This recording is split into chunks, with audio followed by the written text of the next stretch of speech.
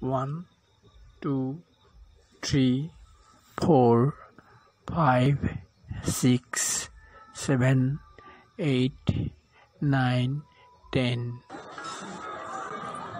One, two, three, four, five, six. Mas, let me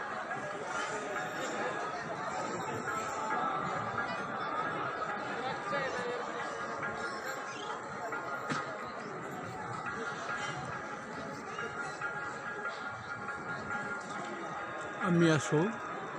এয়া ভাৰতৰ বিখ্যাত স্বৰ্ণ মন্দিৰ অমৃতসৰৰ স্বৰ্ণ মন্দিৰৰ চৌহদত।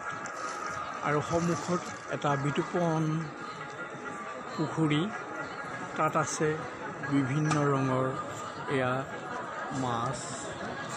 বিভিন্ন ৰঙৰ মাছ সেই পুখুৰীটোত ভৰি আছে। চাৰিওফালে অগণন দৰ্শকে চৌহদত পৰ্যবেক্ষণ কৰি আছে। স্বৰ্ণ মন্দিৰৰ চৌপাশত মানুহে কেৱল এই সৌন্দৰ্য উপভোগ কৰিছে আৰু যাত্ৰীসকলে স্বৰ্ণ মন্দিৰৰ ভিতৰলৈ একেৰাহে গতি কৰি আছে।